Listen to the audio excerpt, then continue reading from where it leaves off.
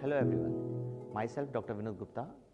I am consultant cardiac surgeon in Indus Hospital, Jaipur, Rajasthan. Today I am sharing my journey with Meril. I am using lots of Meril products and I am very acquainted with Meril valves.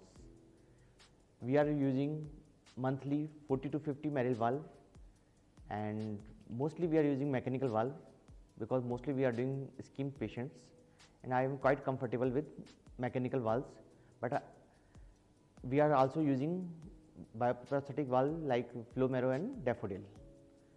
We, it's very good valve and its rotatability is very good. Mech mechanical valve has very good rotatability, very easy to implant and uh, very good effective orifice area.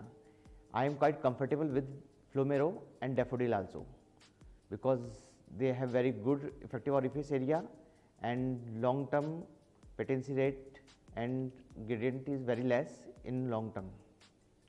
I am also using other Meril products also and I have visited Meril Academy also. It's quite good and very informative and where you can learn a lot from Meril Academy and they are coming with new new products.